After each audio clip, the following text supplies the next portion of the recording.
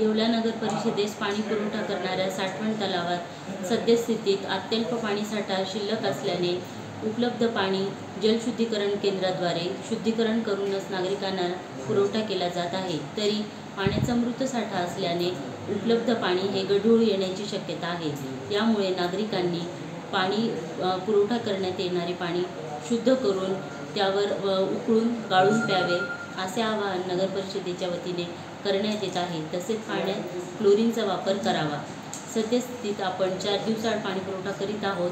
पण जर पाण्याचे आवर्तन लांबवले पालखेड धरणातून येणारं आपल्याला आवर्तन एप्रिलच्या पहिल्या आठवड्यापर्यंत येण्याची शक्यता आहे. त्यामुळे पाण्याचं आपल्याला नियोजन करायच्या दृष्टीने आपण यापुढे पाच दिवसाआड पाणी पुरवठा करणार आहोत.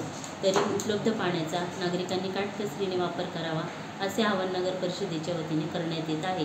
तसेच पा पाण्याचे आवर्तन लवकर मिळाल्यास आपण पाणी पुरवठा सुरळीत चार दिवसाआड करू असं नगर परिषदेच्या वतीने कळवण्यात येत आहे.